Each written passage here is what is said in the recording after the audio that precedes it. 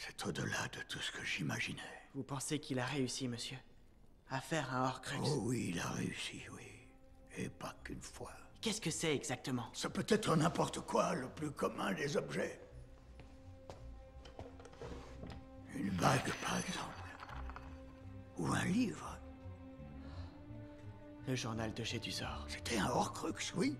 Il y a quatre ans, quand tu as sauvé la vie à Ginny dans la chambre des secrets, tu m'as apporté ça. J'ai su alors que c'était une autre sorte de magie, très noire, très puissante. Mais jusqu'à ce soir, j'ignorais à quel point elle pouvait l'être. Et la bague Elle appartenait à la mère de Voldemort. Difficile à trouver. Encore plus difficile à, à détruire. Mais si on réussit à les trouver tous, si on détruit chaque On Horcrux, détruit Voldemort mais comment on peut les trouver?